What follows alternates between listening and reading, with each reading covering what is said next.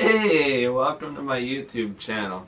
I'm Colin O'Donohoe, uh, World Maestro, and uh, this is a very special video, and I want to give a special thanks to uh, upstate New York, so I wore the hat, which you're going to want to hold on to yours, but I'm going to ditch mine. I wanted to make a special thank you to uh, WBER and their DJ Jimmy O for showing me this great piece of music that I'm going to share with you now.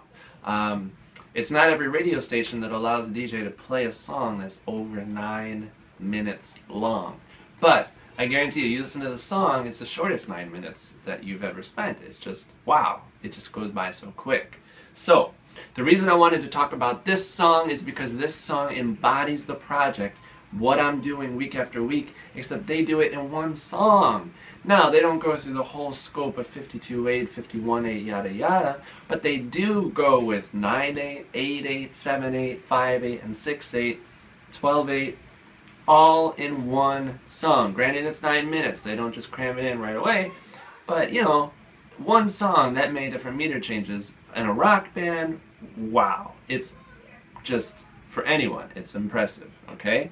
So, good job. Um, great job, Tool. Okay, so what do they do? Uh, this is a two-part video, so I'm talking part one right now.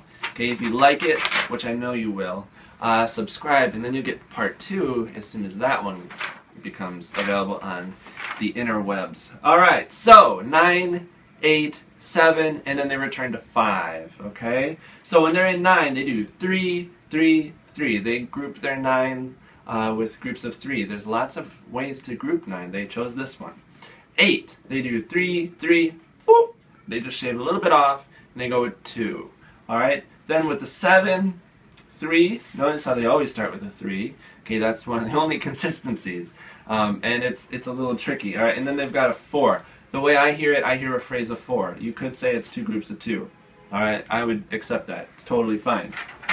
Now what they do here is they shave off what seems like an imperceptible amount of time. But it is perceptible. It is perceptible to you. Regardless of whether you went to Juilliard or whether you never took a music class, as a human being listening to music, you hear that, you perceive, and you know something is amiss. Something is wrong. You might not know what, and you're going to have one of two reactions. You're either going to say, ugh, ugh, this band doesn't know what they're doing this is totally offbeat and they're hitting blah, blah, blah. Oh man, change that. Okay, or you'll go, hmm, this this is interesting. I mean, okay, it's not what I, it's not, it's not what I thought would happen, but, and so it might intrigue you. It's gonna have one of two, uh, you'll have one of two reactions there. I had the the second one. I had the latter one where you go, ooh, man, pretty cool and I had to listen to it again and again to hear what exactly they were doing. All right, so I just told you. So, enough talk, right? Let's hear it.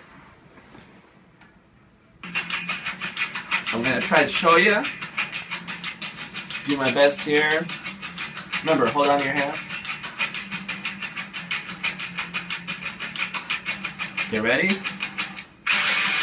Two, three, four, five, six, seven, eight, nine. One, two, three, four, five, six, seven, eight two, three, one, two, one, two, one, two, three, four, five, six, seven, eight, nine, one, two, three, four, five, six, seven, eight, one, two, three, one, two, one, two, one, two, three, four, five, six, seven, eight, nine, one, two, three, four, five, six, seven, eight, one, two, three, four, two, three, one, two, one, two, three.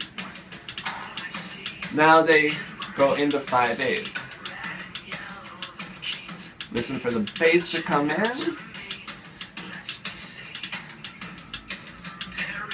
He hits on the downbeat there, starts the phrase, okay? And why does this matter? What, why the perception? Why uh, the meter changes? And, and how do we as humans notice it?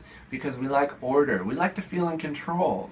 And when you see a piece of paper and you see letters scattered on there, what do you actually see? You see paragraphs and you see sentences and then you see words and it makes sense to you. We like things to make sense. So when we hear this kind of music and if it's not jiving and it doesn't make sense then we don't enjoy it as much.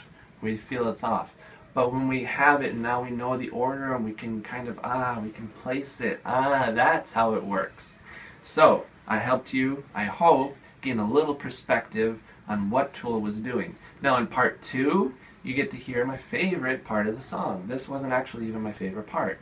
So stay tuned, check out part two, and you get to hear what I think is the coolest part of the song. Thanks for watching.